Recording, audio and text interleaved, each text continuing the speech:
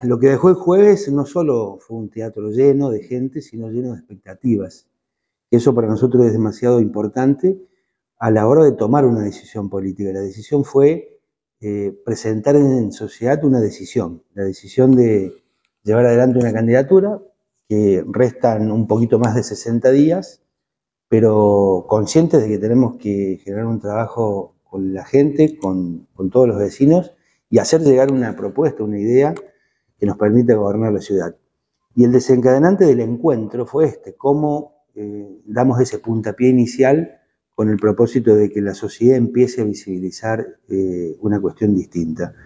Eh, somos conscientes de que falta mucho aún, pero también es cierto que dar los puntapiés iniciales en una campaña que va a ser larga, que va a ser compleja y que seguramente aún no saber con quién competir, nos dejará la posibilidad de poder expresar cada idea, cada propuesta de lo que queremos hacer con nuestra ciudad. Nosotros nos hemos preparado, Andrés, en todo este proceso previo, en todo este, te diría, eh, estos tres, cuatro años últimos en, prepararnos no solo como persona, en interpretar eh, lo que hace falta en lo individual para afrontar el desafío de gobernar la ciudad, sino lo más importante que es interpretar al vecino, conocerlo, estar cerca, interpretar cada una de las etapas que vive el villamariense, cada una de, te diría, eh, las clases sociales que, se encuentra en nuestra ciudad para interpretar cómo solucionar sus problemas o cómo poner adelante el eje de la ciudad que pretendemos. Y es allí donde tenemos una enorme eh, ganas de, no de discutir, no de cuestionar, no de, te diría, de, de enfrentarnos con ese candidato oficialista que va a venir, sino con el propósito de batir hacia adelante. Tenemos un enorme deseo de discutir qué ciudad queremos hacia adelante y ese es verdaderamente el, el propósito el propósito en donde podamos llevar adelante esa discusión. ¿Y a través de qué herramientas, de qué elementos, de qué propuestas de esa ciudad que se quiere llevar adelante?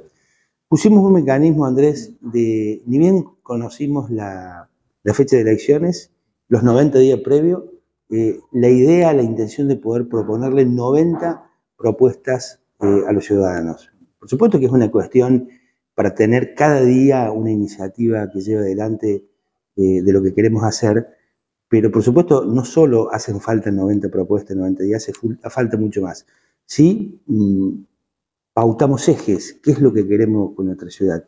Y créeme que es muy amplio eh, eh, toda la discusión que hay que tener respecto a la ciudad. Ahora, quiero contarte algo, Andrés. nos hemos propuesto tener una ciudad destacada, poder poner la ciudad por encima de lo que está. Venimos de verdad eh, a poder potenciar las características de ciudad para poder resolver los problemas de fondo. No venimos a romper nada.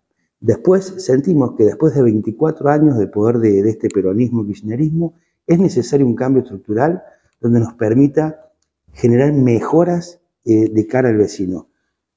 Hay un aspecto central, que es poder poner a la ciudad en el eje productivo del país. Soñamos que el poder político, una vez por todas en la ciudad, se ocupe se ponga a trabajar sobre los aspectos de generar condiciones de inversión, poder generar de verdad esa, ya no basta con sostener eh, al gran comercio que tiene nuestra ciudad, sino potenciar eh, la estructura de, te diría, de la producción, de la industrialización que merece esta ciudad. Eh, te quiero sintetizar que el poder y la energía del próximo intendente ya no solo tiene que estar puesta en la calidad de servicio, en la mejora, en bajar impuestos y va, debemos generar trabajo, debemos generar calidad de vida y en consecuencia eh, generar un montón de situaciones que mejore al villamariense, desde vivienda, desde su salud, desde educación y por supuesto discutir cada uno de los, ejes temáticos que la ciudad del futuro amerita. Como una de las propuestas que mencionabas, el tema de bajar impuestos, que a veces suena muy atractivo, ¿cómo se llevaría a la práctica? Es muy simple. Primero vamos a proponer los próximos días con un eje, con Miguel Maceda, que va a ser quien va a desarrollar las tareas, eh, la, teoría económica de un eje municipal que tenga que ver eh, con generar otras condiciones, no solo un municipio moderno, ágil, en términos administrativos hablo, no burocrático, sino que tenga eh, con claridad ese norte productivo y esa baja tributaria. vamos a proponer, Andrés, un, te diría, un plan sistemático de no solo rebajar impuestos, tasas, eh, vamos a hacer la reforma tributaria del Código Tributario Villamarense que tiene más de 30 años, donde vamos a, plasmar un sinfín de deducciones impositivas, pero que también tengan como propósito eh, el incremento y la inversión para generar laburo. Va a ir por ahí.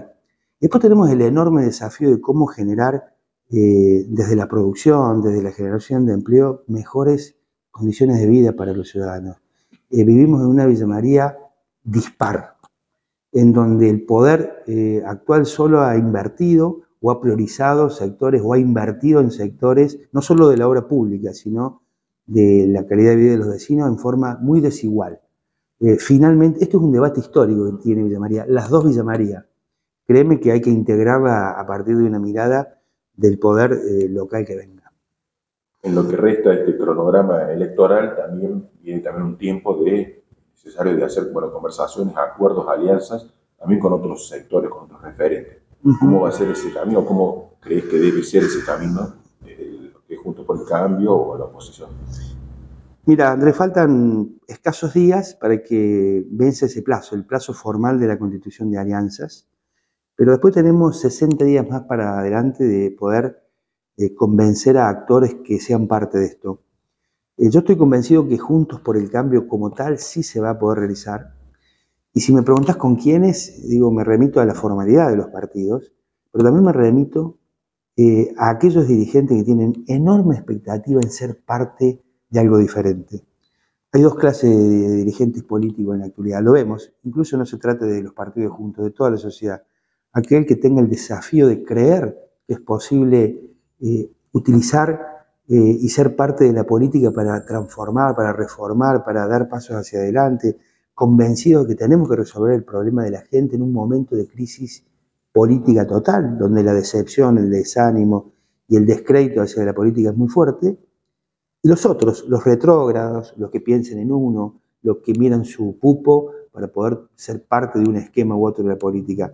La sociedad va a ser implacable en este contexto, va a condenar a aquel que se anime y aquel que lo visualice con ese esquema eh, de egos personales. Yo sueño, Andrés, créeme, con llevar adelante un frente que sea de estas características, del que sueñe con la ciudad, que viene, cómo progresarla, cómo poder llevarla adelante. Me faltan horas, eh, te decía, para que podamos resolver la cuestión formal. Soy optimista y créeme que detrás de esto también está el acompañamiento muy fuerte, que lo hicimos ver en la presentación del Teatro Verde, el, acompañamiento de toda la dirigencia nacional, no solo de Mauricio Macri, Patricia Bullrich, Horacio Rodríguez Larreta, la propia María Eugenia Vidal, donde ellos con su, aún con la, situación interna nacional, con un paso por definirse, están decididos en acompañar un proyecto local que de una vez por todas, eh, eso también es muy importante, soñando con la política pública que van a hacer a partir del 10 de diciembre.